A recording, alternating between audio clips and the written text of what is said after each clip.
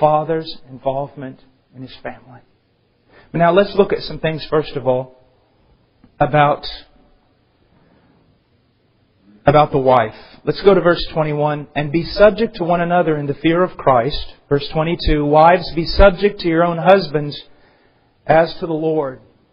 Now, this entire scheme here in Ephesians 5 and 6 is talking about how we are to interact in the different stages of our relationships. We are told, first of all, that believers ought to submit to one another. We are also told that wives ought to submit to their husbands. Then we are told also in Ephesians 6 that children are to submit to their parents. And finally, that slaves, in our case, employees, should submit to their employers. We're also told in the book of Romans we should submit to the government when conscience permits it. And so we see that there is a way in which we are to act in society. Now there is a real sense in which I am, must be, you must be, sir, the head of your home. But never forget that authority in the scriptures is much different from the authority that governed Rome. Rome's authority was to gain more and more power, to step on, to trample, to swallow up, but our authority as husbands is authority to serve. Christ, knowing that He had all authority, knowing where He had come from and where He was going, He took a towel and He wrapped Himself and He took the position of a lowest servant. We are granted authority only to serve inside the will of God. And it will result not in the suppression of our wives, but in their flowering not in the legalistic suppression of our children, but in their promotion, their growth, their blooming. So when we talk about authority, it has been granted unto us to die. Unless a grain of wheat falls to the ground and dies, it abideth alone. But if it dies, it bringeth forth much fruit. You see, sir, you're granted authority not so that you become the center of absolutely everything and your wife and children are nothing more than an extension of you. You are granted authority for their promotion in Christ. To take the place of a servant. Yes, it is your duty to die to yourself, to die to your buddies, to even die to your hobbies, to die to absolutely everything in order to lay your life down. One of the wonderful things about marriage is it provides for us, in our contemporary Western culture, the opportunity to suffer for Christ. The opportunity to carry out some of the most demanding, radical calls of discipleship. So do you really want to be a leader? Now, it says, he goes on, he says, for Verse 23, the husband is the head of the wife, as Christ also is the head of the church, he himself being the Savior of the body. Christ is the only Savior, the only mediator. But there is a sense in which the husband takes upon himself a saving role. As Christ is head of the church, the Savior of the church. So the husband is to be, in a sense, a means through which Christ's saving work is carried out in his wife primarily in the area of sanctification. He ought to be a demonstration of the love of Christ. He ought to be the tool in the hand of Christ used for the transformation of the wife she ought to bloom and prosper, and her life ought to be greater because of her relationship with this man. Let me say something that's very, very important before we go on. It's very, very hard for me to speak about headship because unconverted, unregenerate, religious Pharisees can grab a hold of these truths and use it to dominate their families. to subjugate their wives to some second place category, to make their children all walk in line like little animals.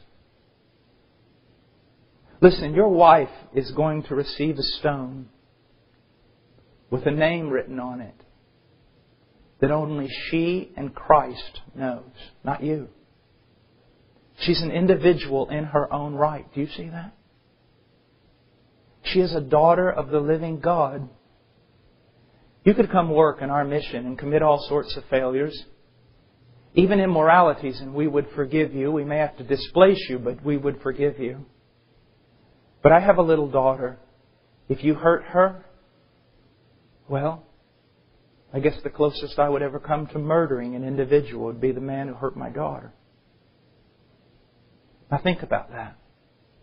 Doesn't matter how valuable you think you may be in the kingdom of heaven, if you mistreat God's daughter, He will not even give regard to your prayers. It's amazing. Are you afraid? You should be. So should I. He goes on.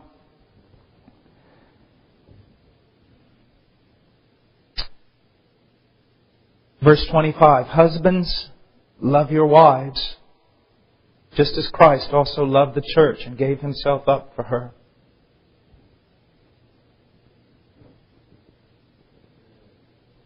What do you do with that, men? Except read it and be broken on your face. What a high calling. What I, I am called to love this woman as Christ loved the church? How? You talk about you need the power of the Holy Spirit to preach. You cried out for the power of the Holy Spirit to do this? Because, my friend, preaching is much easier than this. Look at that. Husbands, love your wives just as Christ loved the church and gave himself up for her. Now, I want you to realize something. Christ, and it has been so clearly stated in the first sermon, Christ did not die for just this beautiful, impeccable, flawless creature. He died for a bride who was crying out, Crucify him. Do you honestly think your, your wife is to, is to come ready made? You'll give yourself to her in this way when she does what she's supposed to do. That's not what Christ did. When his own bride was calling out for his death, he died for her.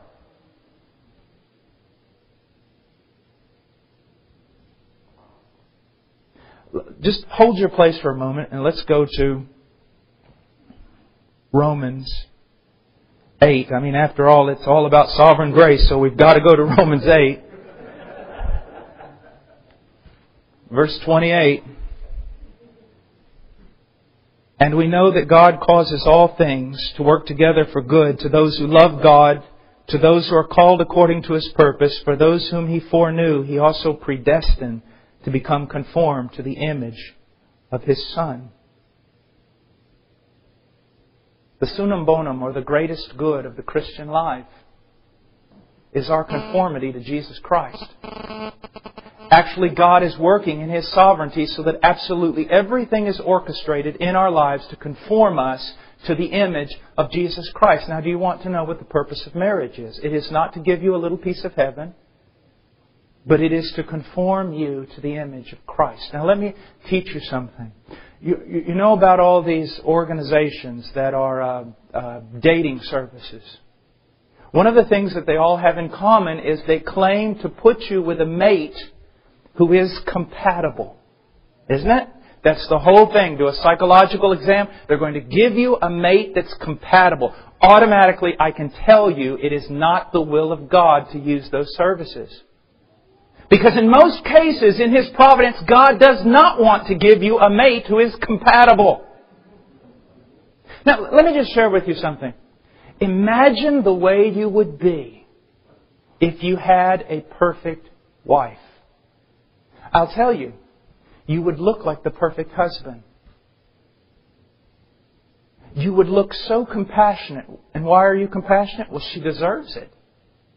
You would look so loving. You would lavish gifts on her. You would be so graceful with her. So kind, so gentle. You would practically adore her. Why? Because she was perfect. And everyone would look at you and say, you are the greatest husband in the world, when in fact Jesus would look at you and say, you are a whitewashed tomb full of dead men's bones and you need to wash the inside of the cup.